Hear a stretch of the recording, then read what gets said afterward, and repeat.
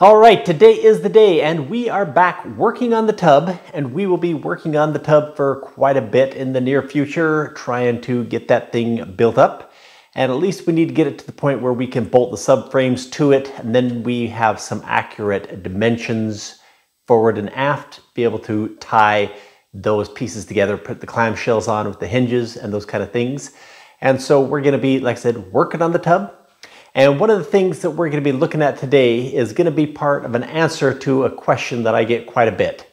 And uh, let me just go through and kind of explain what the question is and the, this video will kind of be an answer to it. At least you'll be able to see how we're kind of developing the tub and some of the other components into a shape that's going to make the, those parts at least more operable or functional than just the thin shell that might have been had we just laid up an original product off of our plug way back when. Now, if you've watched videos in the past where we took molds off of the plug and we used a system where we put flanges on the plug and then used a flashing on those flanges to turn that back in the opposite direction and create this little uh, step in our parts so that we have, instead of just a flat panel, we have at least a step back.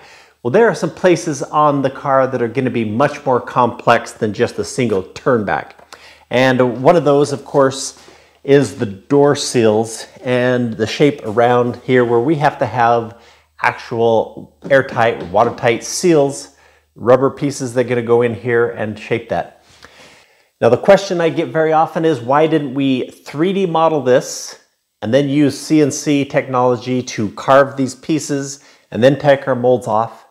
Now the skills in 3D modeling would, I believe would take you years to develop to the point where you could actually do this kind of modeling or at least have a team of 3D modelers working together on different components and then be able to test fit each of those components together. Because what we're doing here is creating something that we really don't know what it is until it all comes together in this form. Um, like I said, you could develop it that way, but it's such a long process of trial and fit and testing thing and the movements of things.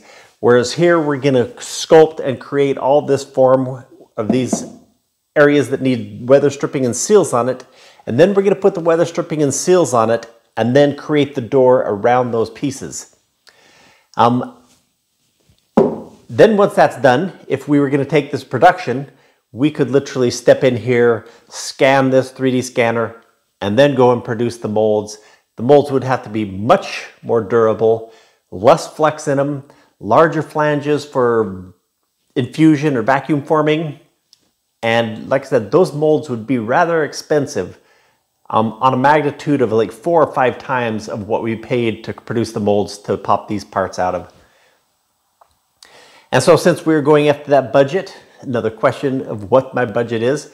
Started out 25,000, we're pushing at about $30,000 right now. And if we had gone for those kind of expensive prototype, not prototype, but more production oriented molds, those molds would have been closer to $15,000, $20,000 to produce all that parts. And so hence you see why we're going with the prototype, perfecting all these things, and then it could go to production. Whether we take it to production is open. I don't know yet what I'm going to do, just still looking at seeing what the interest is. And if I did take it to production, it may make it to where I would go to a tubular frame and just use all the components with the molded pieces here and fit that on there. As, as you can see, the labor intensive part of building this tub would probably push um, a, a kit or a car way out of the expense, way out of the price range that uh, people might be willing to pay. Anyway, we are working on these door sills, these latch plate areas. Anyway, let's go take a look at that.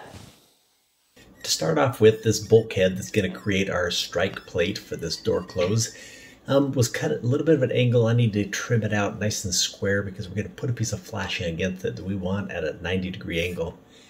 And while I'm doing some trimming, back when we did our footwell expansion, there were some things that never got kind of cleaned up. We won't get to uh, finishing that in fiberglass today, but we're going to go ahead and, while we're trimming some foam, clean that up as well. And just uh, taking our little uh, oscillating saw and a saw, clean that up. But to build this bulkhead and uh, flashings for our weather seals, I'm going to use some more aluminum flashing that's used in roofing. And it's uh, easily trimmed with just some heavy scissors or some tin snips. And I've taken it onto the brake and given it a couple of bends. The one bend is going to make a little bit of a rain gutter. The other one, 90 degree bend that turns back. It's going to give us some strength and stiffness by uh, making our fiberglass make that 90 degree bend little compound shape, add to our strength as well. And to extend that flashing down along that uh, foam piece of bulkhead for that strike plate. Just forming that by uh, rolling it on that hard edge of the car there to give a little curve to it. And then I'm going to punch some holes through the aluminum and put some screws into the foam to hold that uh, piece of aluminum in there to create our little turn back as that flashing. Little nip in it, bend it into uh, the two pieces of aluminum so they meet up. And then whenever I have a joint like that, I use some real duct tape. This is that aluminum, true aluminum tape with some adhesive on the back. And that makes a nice good transition between two pieces of metal.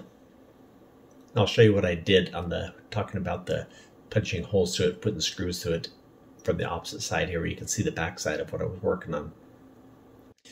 So that first piece of uh, metal flashing with the bends in it, I just tape it in place, hook it to some aluminum onto the fiberglass body there, and it's going to come out in the end, so it's just uh, lightly stuck in there, just enough to hold in place while we get some uh, foundation layers of fiberglass on it.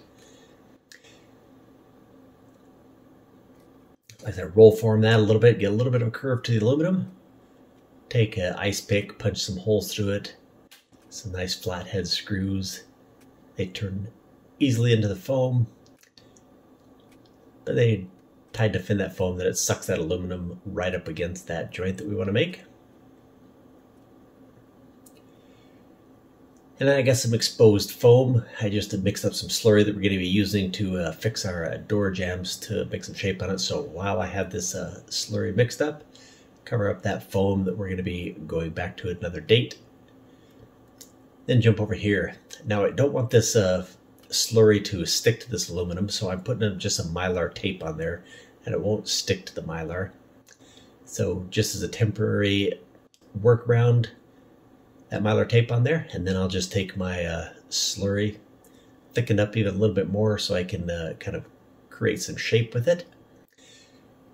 Now once I, I should have uh, created this in the foam originally, but uh, trimmed off the foam and realized later that I needed a little more of a bump out there to uh, create a little more tight seal. And then back with the other side here, I got this uh, extra slurry mixed up, so I figured I might as well put it somewhere useful. So I've got these little joints in the footwell that I'm just going to put a little uh, radius into the corners. Good place to use up that extra slurry. Nice clean round radius that make it easy when I do that fiberglass work up there to make it around those bends. Anyway, come back uh, next day when that thing's set up and uh, take a couple screws out so that flashing swings away. Get my rasp out and start shaping this piece.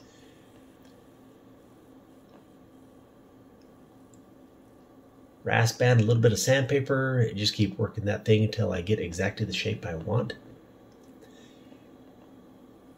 Looking nice. Now once I've got the shape I want, I'm going to put that uh, peel off the mylar tape and uh, put some screws back in that flashing, bring it back down there because that flashing is going to form a little another turn back that we want. And once everything's ready, just gonna vacuum up, clean everything really nicely, and put some release agent on the aluminum. Being very careful not to hit any of the foam or fiberglass because I want it to stick to the foam and the fiberglass, but not on the aluminum. And once that uh, release agent was cured, start putting some fiberglass on. Put some resin down and laying out my fiberglass. I'm using a nice uh, twill fabric that makes uh, good bends around these 90 degree turns. Going up along that, uh, like I said, that compound shape of that little rain gutter and 90 degree turn back on that uh, thing in the back side of the window. And then down onto the bulkhead strike plate area and onto the aluminum flashing. Like I said, at a 9 degree bend, a little bit of radius in that foam, and then the fiberglass comes up and meets the bodywork. Now the astute viewer might notice that uh, I'm putting a layer of fiberglass against the bodywork, which is a joint that we created originally on our molds. So that gap, panel gap there is uh, getting lost a little bit by that one layer of fiberglass. Um, not much, the fiberglass actually pretty thin, but I do need a bond area there. But it, what's going to happen is that part of the door is trimmed out. There is no turn back from that flashing on the mold. And so I can trim that door back and get the panel, the gap in that panel between the bodywork and the door, trim it back to exactly what I want, probably about um, one half a millimeter is where our gap will be in the end. But we're just going to build up about two, maybe three layers of glass here. This is, again, like a lot of things in this early parts, is just building a foundation layer that we will be uh, working off of later on. Now as it comes up here and meets the roof line, we're just got almost a butt joint, which is uh, absolutely no strength at all in the fiberglass joints as it goes. But we will be fiberglassing from the backside after this is cured. And here we are the next day. After it has cured, get a trim off all the extra fiberglass and uh, cured glass that's hanging off the edges.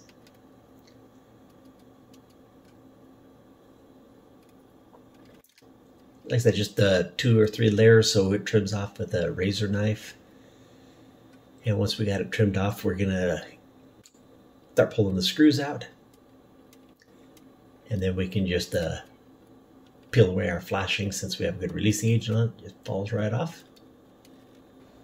There it is. Not super strong, still a little bit of flex in it. But that's okay because we're to reinforce it from the backside the next thing. So that fiberglass will come down across the backside of the foam here.